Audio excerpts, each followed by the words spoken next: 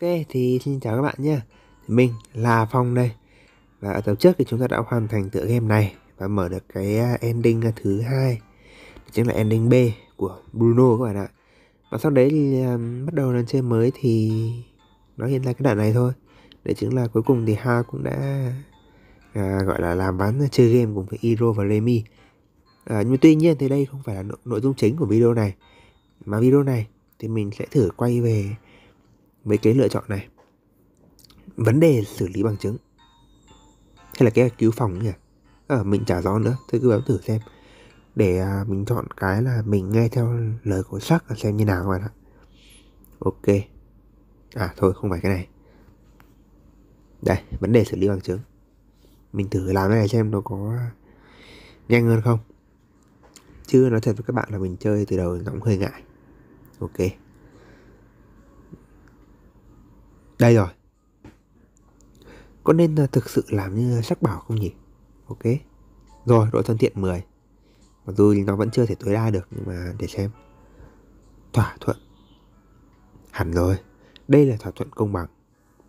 Trong đời ta không thể lúc nào cũng đi được chính đạo. Có khi từ quan điểm của trưởng phòng Jacquin đó lại là điều hay. Thử tưởng tượng việc ông ta biển tù bị lộ ra ngoài Và lên tin tức hay gì đó ông ta sẽ không bao giờ lấy lại vị thế trước đây ok rồi vậy chúng ta lần này sẽ thử chọn uh, theo cái phương án của sắc xem như thế nào ạ nhá không biết có thành công hay không đây nghi lắm ngày D trước phòng kinh doanh một Hù. Sao cậu trông lo lắng vậy? Dĩ nhiên là lo lắng rồi. Chúng ta không làm gì sai cả. Nên cứ đàng hoàng thôi. Đàng hoàng. Được rồi. Wow. Ok và lấy trộm thông tin xong, bây giờ bảo là Không làm gì sai cả. Đi thôi. Nào, chúng ta cùng bàn bạc với Gia Quy nào để xem được cái gì nào. Hao để điện thoại lên bàn mình. Ừ. Ha ha ha ha. Chắc là tôi già rồi. Thua trận quá dễ dàng. Ông đánh giá thấp chúng tôi. Hmm Thế cậu tính làm gì? Và cậu nữa? Tôi tưởng là Chúng ta đã thỏa thuận. Đề nghị với phòng 1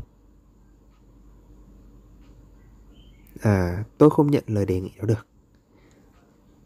Ừ, Tôi không nhận lời đề nghị đó được Ok? Thế tức là ở phòng 3 khiến cậu trở nên giống như chúng Hao nhìn sắc vào Bruno. Mình không hiểu ý ông ta như vậy là gì Nhưng mà mình biết là mình thích phòng 3 Thế lý do cậu chỉ cho tôi xem thứ này là gì? Ừ, chúng tôi muốn thỏa thuận. Có vẻ như các cậu đang cố cứu phòng 3 Được. Vậy thì thỏa thuận. Thật sao? Dễ vậy sao? Bởi vì mình đang nắm bằng chứng mà cho nên là thằng kia nó cứ nói thế trước còn à, có nó nó có làm thật hay không thì mình không biết nữa. Lần này sẽ cứu phòng ba. Nhưng mà lần tới thì sao? Sẽ không có lần tiếp theo đâu. Hmm. Cái đó tùy cậu bruno. Nhưng mà tôi hơi ngạc nhiên. Có khi lời đồn tôi tuồn cho giám đốc là nhân tố. Cậu thường rất thờ ơ nhưng lại làm tất cả những điều này. Queen chỉ tay vào điện thoại Tôi chỉ cố bảo vệ nơi của mình. Hồi còn trẻ tôi cũng vậy. Nhưng mà khi cậu ở tuổi tôi Chẳng còn gì vui nữa cả. Thú vui, bạn bè. Nên là cậu phải kiếm thứ gì đó gây phấn khích hơn. Wow, tức là ông ta làm vậy vì muốn tìm niềm vui. Mình không hiểu ông ta nữa. Tôi thấy là cậu không hiểu gì. Một ngày nào đó thì cậu sẽ hiểu. Sao Quyên đứng dậy không tiễn. Tôi sắc cất điện thoại đi. Cảm ơn vì thỏa thuận. Ừ. Ok, Rồi, như vậy chúng ta đã thỏa thuận thành công. Thỏa thuận điều gì? Bây giờ cho Quyên lên nói vài lời với giám đốc ờ, Một vài lời tốt về phòng bà. Một tháng sau 9 giờ 5 phút sáng, Trên sân thượng. À đúng rồi, đây, chắc chắn là mình sẽ gặp sắc này. Hù Đúng là tay gây rối. Mình biết là anh ta sẽ ở đây mà. Hao nhìn sắc đang thư giãn. À à, chúng mình không nên gọi tên nhỉ? Trợ lý điều hành cậu đang làm gì ở đây? À, trưởng phòng đang tìm anh. Tôi tại sao? Anh không biết thật sao? Tôi không biết. Việc gấp anh bỏ quên một số không trong số lượng đặt hàng. Đấy sai một số thôi là đi luôn rồi đấy gì cơ tôi bỏ quên một số không không phải thêm số à, à đúng rồi Thế thì tôi sẽ từ từ xuống cầu thang vậy. Đây là việc gấp, anh không xử lý việc ngay được à? Gư gầu. Việc gấp. Nhưng mà đâu phải là tôi đặt quá số lượng, nên tôi chỉ cần đi đặt thêm hàng thôi. Trợ lý điều hành à, Lam sẽ mắng anh vì đặt hàng một phút cuối. Thế thì tôi sẽ bị mắng. Trợ lý điều hành chẳng thay đổi tí gì. Mới chỉ có một tháng kể từ lúc phòng bên bờ vực bị giải tán.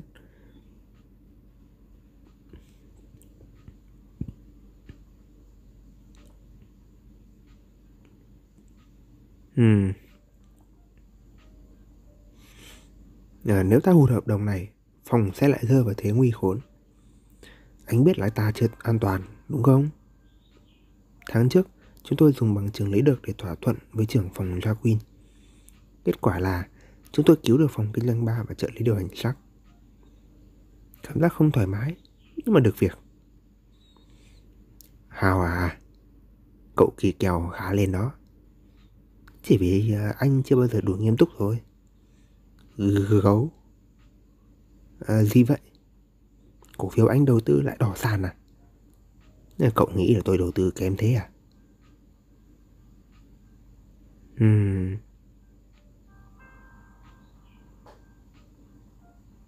Ờ, đây, từ hồi anh bảo cổ phiếu đổi xanh đã lâu rồi. Gâu. Cổ phiếu của tôi vẫn ổn, đừng lo. Thế có vấn đề gì sao? Mọi thứ vô nghĩa quá. Anh thật đã rơi vào khủng hoảng tuổi trung niên thì sao? Ừ. À đúng rồi, bắt đầu giống với uh, trưởng phòng giao quy rồi đấy. Công việc chẳng vui vẻ gì cả. Tại vì mọi thứ đều ổn định Ta có nhân viên phòng mới hoàn toàn Tới lúc giám sát Remy đi Ta chỉ có thêm một nhân viên mới Có lẽ là anh không thân thiết được Với giám sát Safi chăng Có phải vấn đề ở đó không Không Giám sát Safi là người tốt. Tôi chưa từng thấy ai có vằn lông địch như thế. Nói thật là tôi tề hứng. Thế thì vấn đề là gì? Công việc chẳng vui vẻ gì cả. Ai làm việc vì vui chứ? Phó phòng Bruno À ừ anh nói đúng. Nhưng nghiêm túc mà nói, Tôi muốn có thử thách mới. Thành thật mà nói Tôi hơi bị ngạc nhiên. Tôi không hề trông đợi cậu ra mặt giúp phó phòng. Khi chúng ta ăn trộm bằng chứng từ phòng 1 Lâu lắm rồi tôi mới thấy nhìn thấy được sống với chính mình. Adrenaline cuộn chảy trong người tôi. À, Thật phấn khích đúng không? Đấy là đầu tiên mà chúng ta cùng góp sức làm được gì đó. Tôi đang cố kiếm thứ có thể khiến mình sống lại cảm giác đó. Tôi cố tập trung làm việc Tập thể thao Nhưng vẫn chưa tìm thấy cái đó Rồi anh sẽ tìm được thôi Cậu có thứ như thế không? Tôi ấy hả? Đúng vậy. Chắc ấn tay vào ngực hao Thứ gì đó khiến trái tim cậu rung động. Tôi vẫn chưa tìm được. Nhưng mà có khi lại sớm thấy thôi. Giống như giám sát Remy, Iro và phó phòng Bruno. Chẳng biết tôi có làm được điều tương tự hay không. Tôi chắc là anh sẽ tìm thấy được điều đó trước tôi. Go, go. Thế thì tốt quá. Sắc hút ra một bao thuốc Anh biết là tôi không hút thuốc Hút là tim cậu sẽ rung động đó Tôi không muốn đập tim đập nhanh vì lý do đó đâu Tôi gặp anh sau khi hút xong vậy Tôi sẽ quay lại văn phòng Được rồi Hao quay đi Thứ gì đó khiến trái tim mình rung động. Sắc lúc nào trông cũng có vẻ vô lo. Mình không nghĩ là anh ấy lại có suy nghĩ như vậy. Nhưng mà xem ra ngay cả trợ lý điều hành sắc cũng có mối lo. Rồi mình sẽ tìm ra được điều đó chứ. Từ từ các bạn đợi mình chút. À, Đây. Như ở tập trước thì chúng ta có Đây. Không thu thập được bằng chứng và hoàn thành tuyến G. Chọn phòng khuynh doanh 3 và hoàn thành tuyến F của Robert. Chọn phòng khuynh doanh 3 và hoàn thành tuyến E của Remy. Lựa chọn thực tế và hoàn thành tuyến A của Robert. Cái này mình đoán là sẽ đi theo phòng 1 này. À, Cái à, thành tựu 37 là mình đã đạt được là ở cái video trước này. Đây, mình nghĩ là 38 hoặc 39 là sẽ mở được cái ending này. Ending của sắc Ok. Ngày hôm sau 12 giờ 10 chiều Căng tin. Hay chả Tiếc thật. Giờ là lần cuối cùng Toàn ở đây. Thấy buồn quá. Ừ. Gặm gặm Lần cuối cùng sao? Ừ, Anh đang nói gì vậy? Hao đặt khay thức ăn xuống. Tôi chưa kể các cậu à. Hao cầm đũa lên. Ờ, kể gì cơ? Hao đưa một thìa cơm lên miệng. Ngày mai tôi sẽ nghỉ việc ở công ty. Khụ Eo Sao lại phun cơm ra thế? Nghỉ việc. Đúng rồi. Lúc nào? Tôi vừa viết đơn sáng nay. Ừm. Điều hôm qua anh nói Thứ khiến tim anh rung động. Anh tìm thấy rồi sao? Chưa. Thế sao thế sao đã đi đã đi rồi Tôi muốn bắt đầu tìm kiếm điều đó. Chỗ này nhỏ quá Không giữ tôi lại được. Chúng ta không nên nói chuyện khi ăn à, Ôi trời Tôi xin lỗi. Hào đang phun cơm ra. Chắc nhặt hạt cơm dính trên tay. Ừ, Tôi rất tiếc. Việc tôi nghỉ gây sốc thế sao? Tất nhiên rồi. Tự nhiên lại thế. Hào hạ giọng. Nhưng mà sao tự dưng anh lại thế? Nếu muốn kiếm thứ mới mẻ, Tôi phải tự đi tìm thứ đó. Em hiểu anh đó, Sẽ điều hành sắc Hiro, Cậu? Em cũng đang học. Chứng chỉ nghề cắm hoa.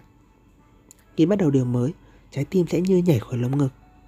Và mọi thứ sẽ khác biệt nhiều. Phải đó, Ý tôi là thế đó.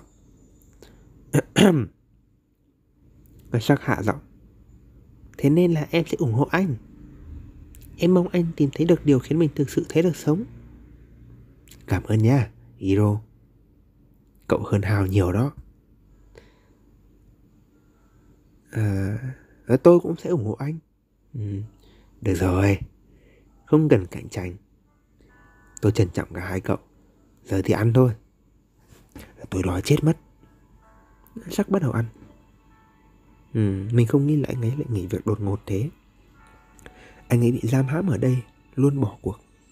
Nhưng mà giờ anh ấy đang tìm kiếm thử thách mới. Đáng lẽ mình nên thấy mừng cho anh ấy, Phải không? Ây da, đây rồi. Cái ảnh ngày hôm nay của chúng ta đây. Ok. Ờ Nhưng tại sao không có Bruno cho mày nhỉ? Nên thôi không sao. Hao gấp miếng thịt heo trên xù trên đĩa của mình cho sắc Đây. Ờ, ở đâu nhỉ? Đây rồi chuẩn rồi Cuộc sống mới của sắc Thành tiệu số 38 Ending thứ ba